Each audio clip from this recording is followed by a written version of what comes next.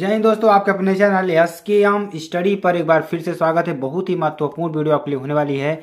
देखेंगे मेरे प्यार बच्चों इंपॉर्टेंट क्यों है, अभी आपको पता चल जाएगा। सारी चीज़ों को यहाँ पे डिस्कस करने वाले हैं। आपको अच्छी तरीके से बताने वाले हैं। जो भी चीज़ रहेगी, यहाँ पे आपको अच्छी तरीके से समझाएँगे। चलिए स्टूडेंट आपको अच्छी तरीके से बताते हैं और समझाने का प्रयास करते हैं। कक्षा बारह सब्जेक्ट केमिस्ट्री की बात करेंगे। मोस्ट इंपॉर्टेंट जो क्वेश्चन है, आपके लिए उसकी चर्चा करने वाले हैं। तो 95 परसेंट चांस है कि आपका यही प्रश्न आने वाले हैं। और 2023 बोर्ड के लिए तो बहुत ही महत्वपूर्ण प्रश्न है, ठीक है? तो यहाँ बात करेंगे केमिस्ट्री के जो आपके महत्वपूर्ण प्रश्न है। और इसकी पीडीएफ भी आपको मिल जाएगी। पीडीएफ कहाँ मिलेगी? S K M study classes dot com website पर और एस एम स्टडी जो ऑफिशियल टेलीग्राम चैनल है, वहाँ पर इसकी पीडीएफ आपको मिल जाएगी, ठीक है? चलिए प्रश्न को देख लेते हैं। प्रश्न देखिए क्या है? स्वर्ण संख्या या स्वर्णांग की परिभाषा दीजिए। स्वर्ण संख्या किसे कहते हैं? या स्वर्णांग की परिभाषा दीजिए। तो चलिए देखते हैं इसका क्या मतलब होगा। अच्छी तरीके से समझेंगे। और आपको अच्छी तरीके से समझना है। अगर आप नहीं समझेंगे तो आपको समझ में नहीं आएगा, ठीक है? तो सबसे पहले जानते हैं स्वर्ण संख्या या स्वर्णांक किसे कहते हैं। तो हम स्वर्णांक की परिभाषा देने आ रहे हैं। देखिए यहाँ पर क्या होगा? रक्षी कोलायड की शक्ति को, किसको?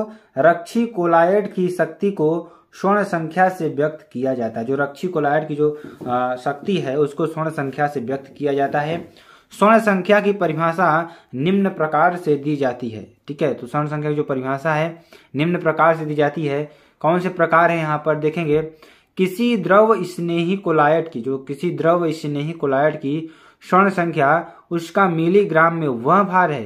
ध्यान समझेंगे, किसी द्रव स्नेही कोलायट की, किसी कोई हमारा जो द्रव स्नेह कोलायड है, उसकी स्वर्ण संख्या, उसका मिलीग्राम में वह भार है जो गोल्ड सॉल के 10 एम में उपस्थित होने पर 10 परसेंट एन विलियन के एक एम को डालने पर सॉल के लाल रंग से नीले रंग में परिवर्तित होने को रोकने के लिए पर्याप्त है, ठीक है? तो यह प्रश्न आपको समझ में आ गया होगा अच्छी तरीके से। कहने का मतलब क्या है कि जो द्रव स्नेही कोलायड है, उसकी स्वर्ण संख्या, उसका मिलीग्राम में वह भार है जो गोल्ड सॉल के 10 एम में उपस्थित होने पर 10 परसेंट एन ए विलियन के एक एम को डालने पर सॉल के लाल रंग से नीले रंग में परिवर्तित होने को रोकने के लिए पर्याप्त है, ठीक है? तो ये बहुत ही महत्वपूर्ण परिभाषा है आपके लिए, बहुत बार एग्ज़ाम में आ चुकी है, इसलिए हमने आपको बताया। चलिए, अगला प्रश्न देखते हैं, अगला प्रश्न क्या है? और देखेंगे, स्वर्ण संख्या रक्षी सौल की शक्ति व्यक्त करने का प्रतीक है। क्या है? जो स्वर्ण संख्या है, रक्षी सौल की शक्ति व्यक्त करने का प्रतीक है। स्वर्ण संख्या जितनी अधिक होगी सौल की स्कंदन शक्ति उतनी ही कम होगी। कम स्वर्ण संख्या होने पर शॉल की इंस्कंदन शक्ति शक्ति अधिक होगी। क्या होगी? अधिक होगी। ठीक है तो आपको अच्छी तरीके से समझ में आएगा। चलिए, अगले प्रश्न को बढ़ते हैं। अगला प्रश्न क्या है? बहुत ही महत्वपूर्ण ये भी है और बहुत बार एग्ज़ाम में आया हुआ प्रश्न है। ठीक है, प्रश्न क्या है? आप मेथिल एल्कोहल और एथिल एल्कोहल में विभेद कैसे करेंगे? केवल एक रासायनिक परीक्षण तथा अभिक्रिया का समीकरण दीजिए। आप मेथिल एल्कोहल और एथिल एल्कोहल में विभेद कैसे करेंगे? केवल एक रासायनिक परीक्षण तथा अभिक्रिया का समीकरण दीजिए। ठीक है? तो यहाँ पे देखेंगे, मेथिल एल्कोहल और एथिल एल्कोहल में विभेद आयोडोफार्म परीक्षण द्वारा किया जा सकता है। किसके द्वारा? देखिए, जो मेथिल एल्कोहल और एथिल एल्कोहल है, इसका जो विभेद है, किसके द्वारा? आयोडोफार्म परीक्षण द्वारा किया जा सकता है। एथिल एल्कोहल को जब आयोडीन तथा जली सोडियम हाइड्रोक्साइड या जली सोडियम कार्बोनेट विलयन के साथ गर्म करते हैं तो पीला क्रिस्टलीय ठोस आयोडोफार्म बनता है। ये आपको याद कर लेना है। देखेंगे यहाँ पर कुछ अभिक्रिया जो आपकी दी हुई है। अभिक्रिया को भी समझते हैं। तो अभिक्रिया क्या है? ध्यान से देखिएगा। C S three C S two O H जिसे आप क्या कहते हैं? एथिल एल्कोहल कहते हैं। प्लस फोर आई टू जिसे आप आयोडीन कहते हैं। Plus six N A O H जिसे आप सोडियम हाइड्रोक्साइड कहते हैं। ठीक है? अब तीनों का विक्रिया जब करेंगे तो C H I three iodoform बनेगा और five N A I sodium iodide बनेगा। Plus H C double O N A sodium formate बनेगा। Plus five H two O बनेगा। क्या बनेगा? फाइव एच टू ओ बनेगा, ठीक है? तो चलिए यहाँ पर देखेंगे मेथिल एल्कोहल आइडोफार्म परीक्षण नहीं देता। जो मेथिल एल्कोहल है, वह आपको आइडोफार्म परीक्षण नहीं देगा। तो मेथिल एल्कोहल क्या कर आइडोफार्म परीक्षण नहीं देगा, ठीक है? आइडोफार्म परीक्षण कौन देता है? हमारा एथिल एल्कोहल देता है। तो आपको अच्छी ध्यान देने वाली बात है, अच्छी तरीके से आपको समझ में आ गई होगी। चलिए आगे आपको बताते हैं अगला प्रश्न। अगला क्वेश्चन देखिए, बहुत ही बार पूछा गया प्रश्न है, बहुत ही महत्वपूर्ण प्रश्न है। देखिए अपोहन ठीक है डायलिसिस किसे कहते हैं? अपोहन किसे कहते हैं? चलिए इसके बारे में आपको चर्चा करते हैं। तो यह विधि इस तथ्य पर आधारित है, यह विधि किस इस तथ्य पर आधारित है कि घुलित पदार्थों के अणु, क्या? घुलित पदार्थों के अणु व आयन चर्म पत्र झिल्ली में से सरलता पूर्वक विसरित हो जाते हैं। अभी आपको फिगर के ज़रिए भी समझाएँगे। यानी कहने का मतलब एक चर्म पत्र की झिल्ली रहेगी, जिसमें से क्या होगा? जो कि घुलित पदार्थों के जो अणु व आयन चर्म पत्र झिल्ली में से क्या होते हैं, सरलतापूर्वक विस्तृत हो जाते हैं, जबकि कोलाइडी कण उसमें से विस्तृत नहीं हो पाते। जो कोलाइडी कण हैं, उसमें से विस्तृत नहीं हो पाते या कठिनाई से विस्तृत होते हैं। क्या होते हैं? कठिनाई से क्या होते हैं? विस्तृत होते हैं। आगे चलिए, आगे देखेंगे। चर्मपत्र झिल्ली चर्मपत्र झिल्ली से बनी एक थैली चर्मपत्र झिल्ली से बनी एक थैली या किसी बेलनाकार पात्र, जिसे अपोहक कहते हैं, में कोलाइडी विलयन भरकर उसे बहते हुए जल में निरंबित करते हैं। कोलाइडी विलयन में उपस्थित घुलित पदार्थ के कण झिल्ली में से होकर बहते जल के साथ बाहर निकल जाते हैं। कुछ दिनों कुछ दिनों में शुद्ध कोलाइडी विलयन प्राप्त हो जाता है। अतः कोलाइडी विलयनों के शोधन हेतु अपोहन विधि को प्रयुक्त करते हैं। ठीक है? तो इसको आपको अच्छी तरीके से समझ में आ गया होगा। देखिए, यहाँ पर एक फिगर है। फिगर में देखिए, ये हमारी चर्म की झिल्ली है, ठीक है?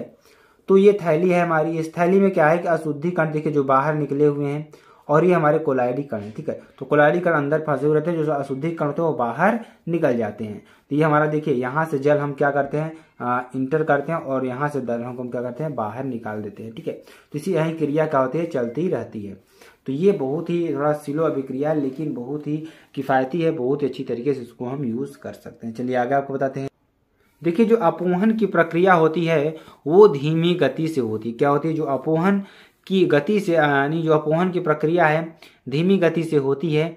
यदि अशुद्ध सॉल की भरी जंतु झिल्ली की थैली के दोनों ओर इलेक्ट्रोड लगा देते हैं तो अशुद्ध सॉल में उपस्थित आनिक अशुद्धियाँ इलेक्ट्रोड द्वारा आकर्षित होकर तेज़ी से बाह्य जल में विसरित हो जाती हैं, जिससे सॉल अशुद्ध हो जाता है। यह प्रक्रिया वैद्युत अपोहन कहलाती है। ठीक है तो आपको अच्छी तरीके से समझ में आ गया चलिए आगे आपको बताते हैं। अगला देखिए, क्या है कैनिजारो अभिक्रिया, जो कि बहुत ही महत्वपूर्ण अभिक्रिया है आपके लिए। देखिए, ये अभिक्रिया क्या कहती है, इसको कैसे हम समझेंगे, कैसे आपको बताएँगे, सारी चीज़ों को यहाँ पर डिस्कस करने वाले हैं। देखिए, उन एल्डिहाइड के दो अणुओं को ठीक है? उन एल्डिहाइड के दो अणुओं को जिसमें अल्फ़ा हाइड्रोजन परमाणु नहीं होते, क्या नहीं होते हैं? जिसमें आपके अल्फ़ा हाइड्रोजन परमाणु नहीं होते कास्टिक क्षारों के सांद्र विलेनों के साथ क्रिया कराने पर एडिहाइड का एक अणु एल्कोहल में अपचयी तथा दूसरा अणु अम्ल में ऑक्सीकृत हो जाता है। तो यह अभिक्रिया कैनिजारो अभिक्रिया कहलाती है, ठीक है? चलिए यहाँ पर देखेंगे। ए नंबर क्या है? Two H C H O plus N O H जिसे आप फार्मेल्डिहाइड कहते हैं।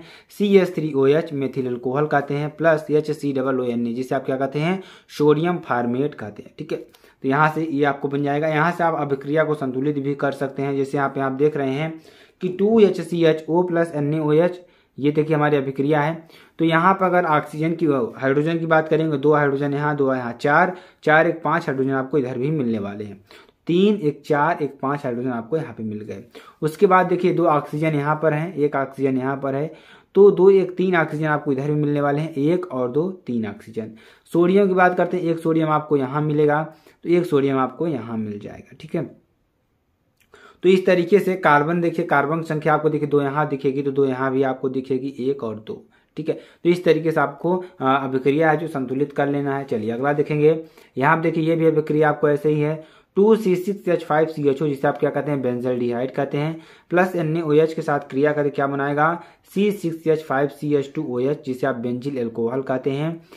Plus C six H five C double O N A, sodium benzoate बनेगा। ठीक है? चलिए, अगला क्वेश्चन, अगला देखिए, अगला क्या बनेगा? Two C six H five C H O plus two K O H क्रिया करे क्या बनाएगा? C six H five C H two O H और plus C six H five C double O K potassium benzoate बनाएगा, ठीक है?